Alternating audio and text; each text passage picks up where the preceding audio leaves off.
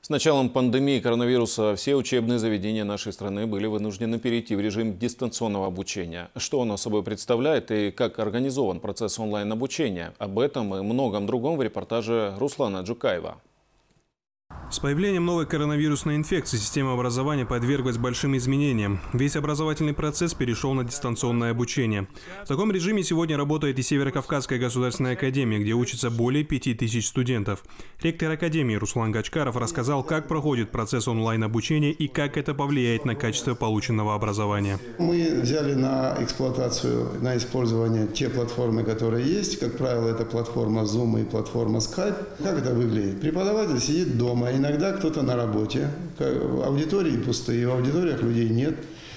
Студенты находятся в режиме, в дистанционном режиме на постоянной связи. У нас учебный процесс, тот же график, то же расписание, все сохранилось. Для накопления банка лекций в Академии было обустроено три видеостудии, где записывают видеолекции и ведут онлайн-занятия практически по всем направлениям подготовки. По словам Руслана Махаровича, студенты могут в любое время пересмотреть весь курс занятий и освежить знания. Для студента плюс заключается в том, что он э, в более свободной атмосфере, удобной для себя находится, и он может любой вопрос, любой э, там непонятный аспект – либо задать, если уже есть у нас банк по видеолекциям, он его может повторить, посмотреть. Но скажу так, с точки зрения овладения э, компетенциями теоретического плана, профессиональными и качеством знаний, я думаю, что здесь э, учебный процесс сильно не пострадал. Режим самоизоляции также отразился и на сдаче единого государственного экзамена, и на поступление в высшие учебные заведения.